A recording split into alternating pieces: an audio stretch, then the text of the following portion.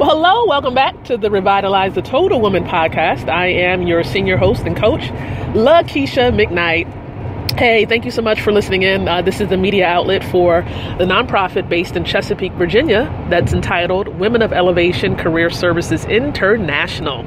Uh, feel free, of course, to visit the website to learn more about uh, the podcast and the nonprofit at womenofelevation.com.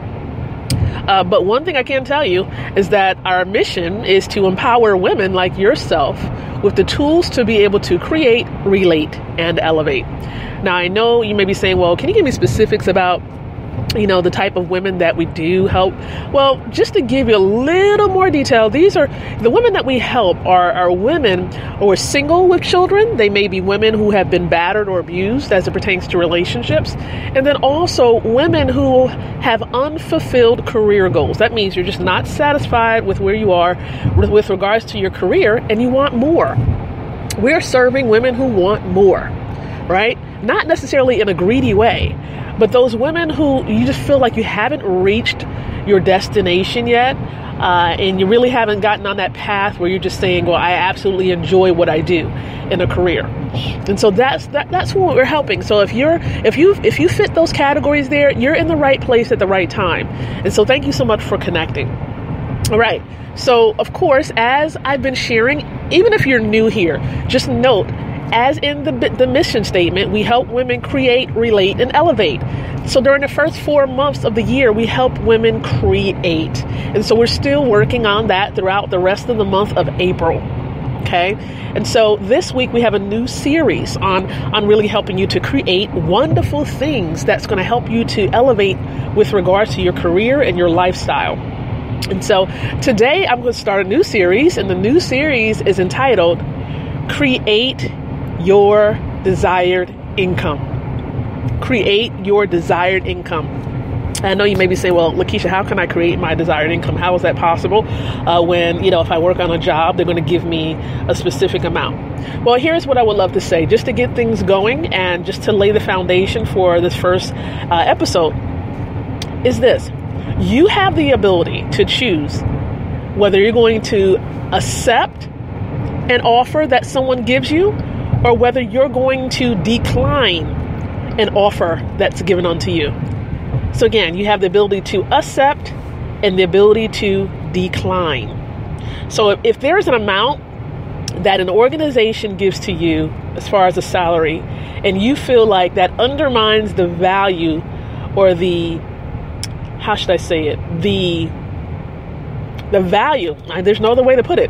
If it underestimates the value that you can bring to an organization, then by all means, by all means, let them know that that, that just won't work. It's not going to cut it. It doesn't doesn't quite fit the bill for you. You know, just let them know that. But, you know, and, and of course you want to say it in a respectful way. Say it in a respectful way and, you know, if they're able or willing to negotiate, then let the negotiations begin. Let the negotiations begin. Uh, but if they're not willing to negotiate and you just can't accept a certain amount lower than what you intentionally wanted, and you have the ability to walk away, by all means do so. Right? I don't want you to walk away if you definitely need a job or you need income and you have nothing go- coming in. You need something coming in to live. So I'm not saying that at all. Uh, but of course, there is another way besides trying to negotiate with other organizations. Um, there is the entrepreneurial way, where you can actually set and create your desired income. And you can do that. Now, of course, it takes time to build. Let me just say it that way. It takes time to build, but it is indeed possible. Okay, you really have, there's some things, of course, that you want to make sure you have in place that's going to enable you uh, to create that desired income that you want. You have to be strategic in your approach. A lot of times we say we want a certain amount of money, but we don't plan for for it. We we we have this idea in our minds, but that's all it remains is an idea. We don't execute we don't have a plan. We don't execute on those plans. And then some of us are just not consistent. We easily get distracted. Uh, and so we don't remain consistent. And so, this is important. I'm going to tell you something that's really important. That even with your desired income, you really need a plan whereby you're going to be engaging in results driven activities. These are activities that are going to give get you the results that you want. Okay? And so that's where we're going to really wrap it up and conclude today. You have the ability to create an income the entrepreneurial way. You have to have a plan and you have to do create a plan that's feasible and that you can be consistent with because everybody's plan may not suit you. So you can't take someone else's plan and then call it your own. You have to work with someone that will be able to see what plan is feasible for you. And I say work with someone, I'm talking about a coach, someone who can sit down with you and plan, or perhaps a consultant. Okay? So I just want you to think about that for yourself as you're moving forward, as you're thinking about creating that desired income, maybe the income you want to make is 70,000 or or 100,000 or perhaps even 500,000. Maybe you want to be a millionaire. Of course, we know that there's gradual work with that. But one of the things that I tell people is you definitely want to you definitely want to be a business owner. It will get you there faster.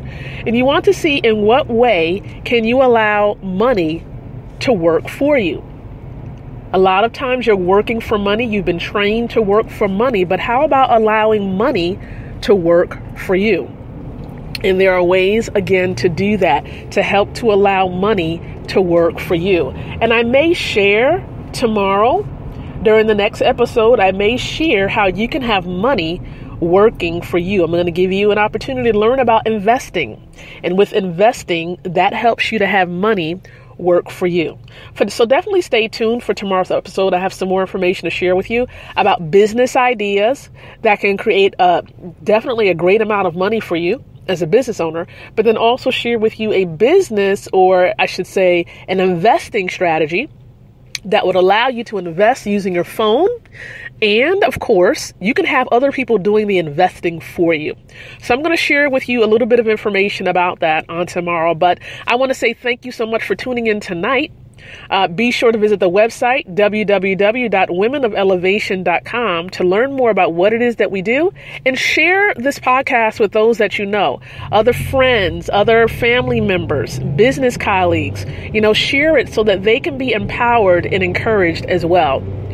So, again, I appreciate you. Thank you so much for listening in. And remember, we, Women of Elevation, the Revitalize the Total Woman podcast, we empower women with the tools to be able to create, relate, and elevate.